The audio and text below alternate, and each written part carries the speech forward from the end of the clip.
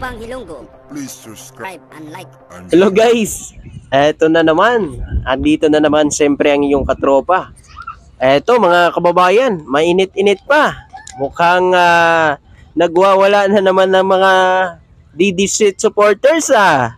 Dahil nakancel ang Tacloban na nausog rally nila. Sinisi na naman kay ah, Pangulong BBM ang nangyaring ah, nausog rally ng mga DD sa Tacloban mga kababayan. Grabe talaga no. Halos lahat naman ata na kanselado nilang mga rally ay lagi na lang isinisisi kay PBBM. Kahit alam naman natin, kaya nila kinakancel ang rally na yan kasi walang pumupunta.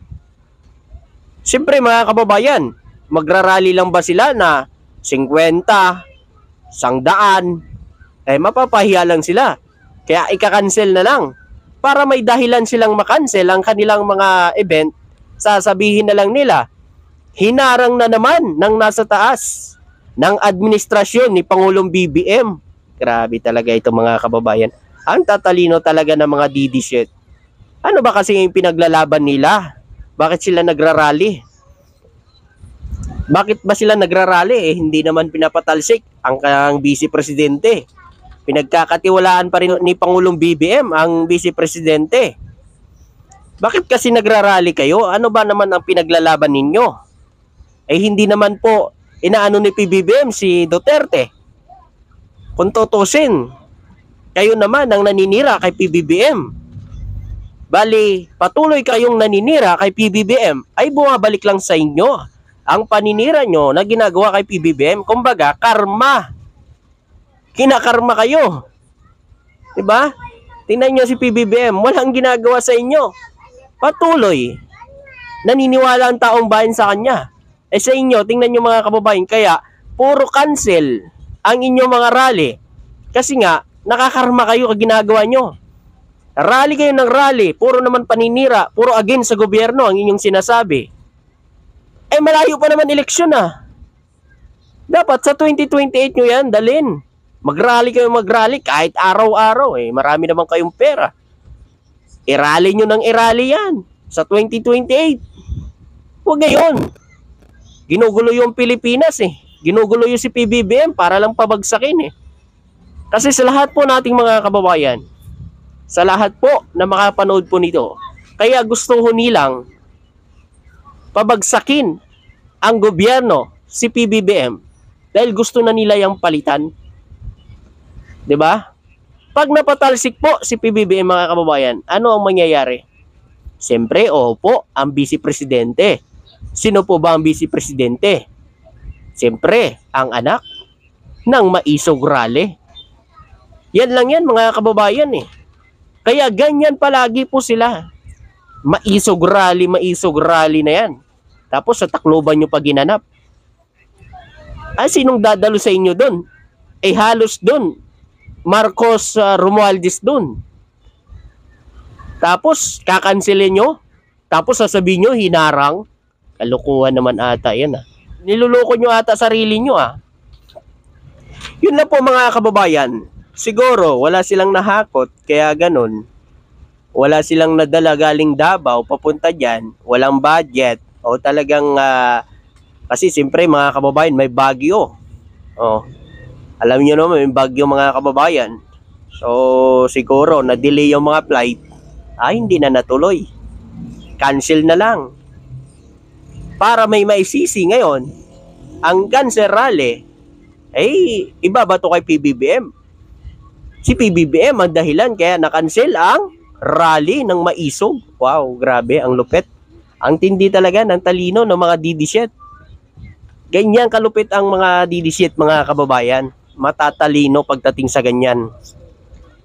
Kasi alam nyo ah, sa lahat po ng mga nanonood, bakit po ba sila nagrarally kung walang dahilan? Bakit sila nagrarally? Eh hindi naman po sila sinisira ni PBBM. Wala naman pong ginagawa si PBBM sa kanila. Si PBBM po patuloy pong ginagawa ang kanyang trabaho dito sa bansa natin. Subalit, itong maisog rally ay patuloy naman na pinapabagsak si PBBM. O ano po ba ang ginagawa ni PBBM sa kanila? Isila lang naman ang bato ng bato ng paninira kay PBBM. Tapos, parang ah, paawa ipik pa sila sa mga taong bayan na sila pa ang inaapi. Na sila naman talaga ang naninira kay PBBM.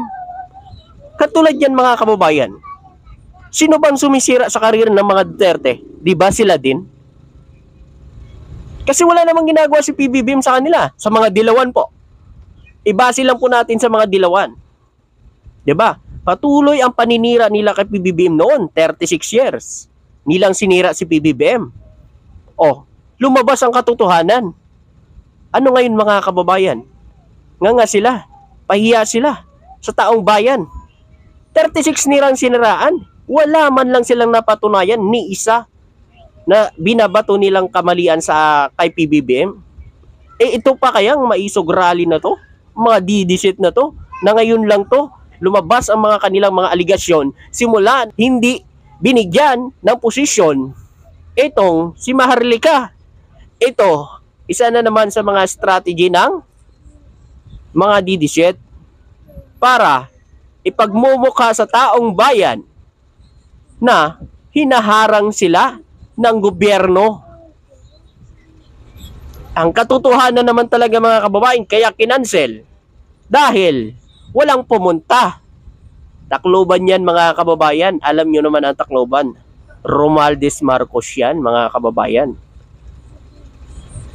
Tapos sasabihin nila, kinansel na naman, hinarang ng gobyerno ni PBBM. Wow, ang lupit nyo naman. Eh, ito mga kababayan, oh. sa isa sa mga posts, sa isa sa mga loyalista, si Mami Ping.